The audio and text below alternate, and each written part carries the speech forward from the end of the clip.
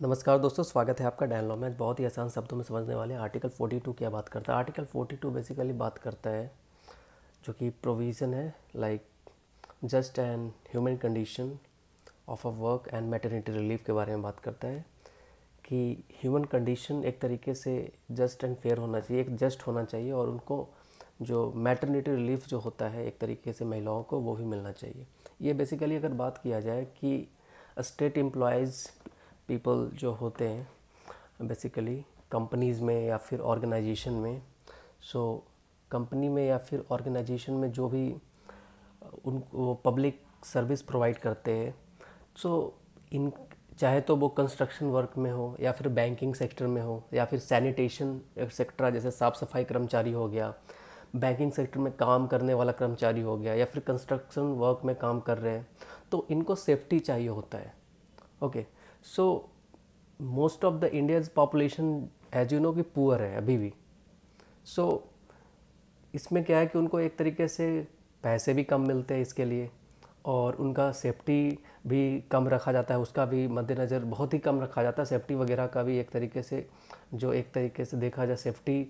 Proper नहीं होता है। कोई भी सेक्टर में देख लिया जाए एम्प्लॉयज़ वर्क कर वर्क कर रहे हैं जो भी काम कर रहे हैं चाहे तो वो मेल हो या फीमेल हो ओके और लोग क्वालिटी के इन्वायरमेंट में काम करते हैं। उनको इन्वायरमेंट में वैसा नहीं मिलता है। जैसे कि साफ़ सफ़ाई करने वाला सैनिटेशन वर्कर जो होते हैं, उनका, उनको देख लिया जाए तो सफ़ाई कर्मचारी का भी यही हाल है देश में। ओके सो आर्टिकल 42 ये सुनिश्चित करता है कि गवर्नमेंट यानी कि स्टेट गवर्नमेंट ऐसा कोई पॉलिसी बनाए, यानी कि सेंट्रल गवर्नमेंट कोई ऐसा पॉलिसी बनाए ताकि एक तरीके से उसका इम्प्लीमेंटेशन हो सके इनके सेफ्टी को लेकर। जैसे कि अगर बात कर ले कंस्ट्रक्शन वर्कर के लिए, उनका कोई सेफ्टी नहीं है। जैसे अभी बात किया था अर्लियर अगर बात करें जो फीमेल एम्प्लॉज़ जो होते हैं, जो फीमेल एम्प्लॉज़ उनका भी कोई एक तरीके से जब उनका, उनको मैटरनिटी रिलीफ यानी कि मैटरनिटी लीव नहीं मिलता था सो मैटरनिटी लीव नहीं मिलने की वजह से उनको दिक्कत होता था कि उनको जॉब छोड़ देना पड़ता था। सो बेसिकली अगर आर्टिकल 42 को आसान तरीके से समझे article 42 six to ensure human work conditions and provide for maternity relief so it states that the state shall make provision okay for securing just and human condition of work for maternity relief okay so it is a principle of socialist nature जैसे कि मैंने बताया था कि DPSP में socialist principle है Gandhian principle है तो ऐसे करके बताया गया है। And dedicated to achieve social and economic welfare of the people social and economic welfare of the people with the objective to establish India as a welfare state because welfare state India है for the people है democracy है यहाँ पर। सो so, यहाँ पे सुनिश्चित होना चाहिए सबका राइट और उनका जो एक तरीके से जो क्वालिटी ऑफ़ वर्क जो है, जिस इन्वायरमेंट में वो काम कर रहे हैं, वो क्वालिटी को उनके स्टैंडर्ड को थोड़ा सा बढ़ाया जाए, ताकि उनका सेफ्टी हो सके। अगर एसेंशियल फीचर ऑफ़ आर्टिकल 42 की बात करें, जो है, जैसे कि अगर अभी तक तो आर्टिकल 42 के बारे में समझे, लेकिन directive principles of state policy में इसके कुछ एसेंशियल फीचर जो बताए गए, जैसे कि ये डायरेक्ट करता है स्टेट को कि वो ऐसा कानून बनाए जो कि जस्ट एंड ह्यूमन कंडीशन उनके जो वर्क कर रहे हैं और जो काम कर रहे हैं, उनकी जो फीमेल है, उनका मैटर्निटी बेनिफिट मिले उनको एक तरीके से। और कुछ प्रिंसिपल्स ऐसे हैं जो कि नॉन जस्टिफिएबल है। दैट मीन्स कि this principle can not be enforceable by a court of law ज़ाहिर सी बात है, कई बार इसकी एक तरीके से इन्फोर्समेंट नहीं हो पाता। Directive principle of state policy में बहुत सारी चीज़ें जो सोशलिस्ट प्रिंसिपल है, उसका इन्फोर्समेंट नहीं होने की वजह यह है कि एक तरीके से कई बार करप्शन होता है ड्यू टू पोलिटिकल सिनेरियो ऐसा हो जाता है तो उसकी इन्फोर्समेंट नहीं हो पाती। तो जिससे क्या होता है कि एक तरीके से, एक तरीके से इस आर्टिकल का वायलेशन होता है, पर इसके लिए आप कोर्ट नहीं जा सकते, जैसे फंडामेंटल राइट का वायलेशन होता है because it is a part of directive principles of state policy okay और ये इम्पोज करता है duty on the central as well as the state government to apply this principle in making laws relating to maternity relief okay and जो कि working condition है, जो factories वगैरह में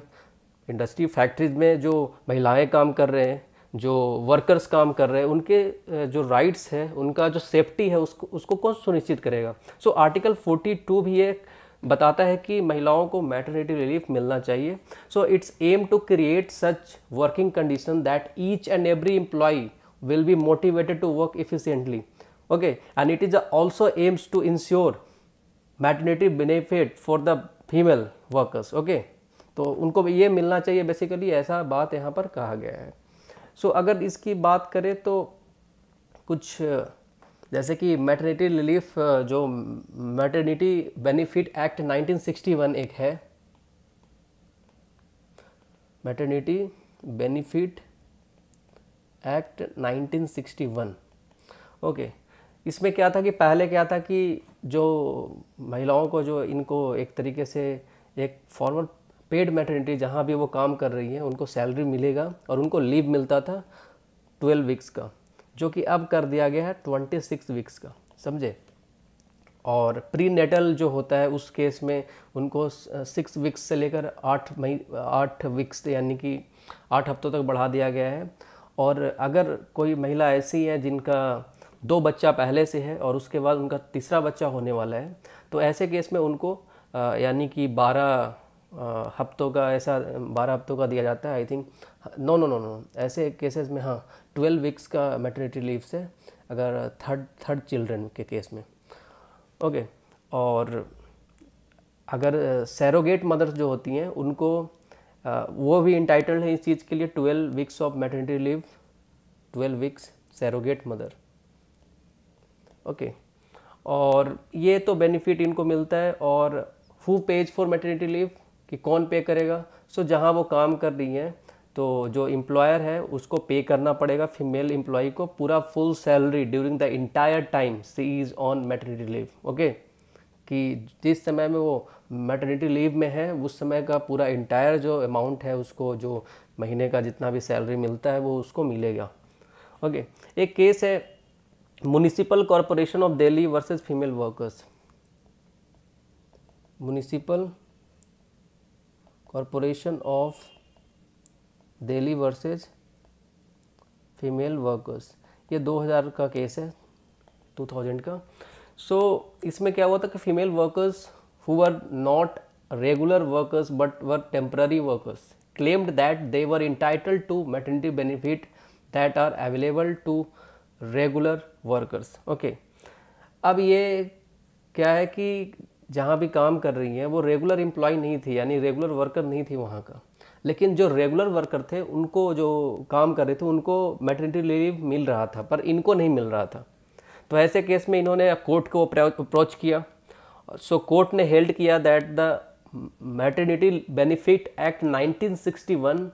are in line with article 39 and article 42 okay article 39 और article 42 कि right तो मिलना चाहिए। सेफ्टी तो एटलीस्ट ये वुमेंस का यानी महिलाओं का ये अधिकार है और ये आर्टिकल 42 का भी वायलेशन है आर्टिकल 39 का भी वायलेशन है। तो ये स्टेट करता है डेट का फीमेल एम्प्लॉय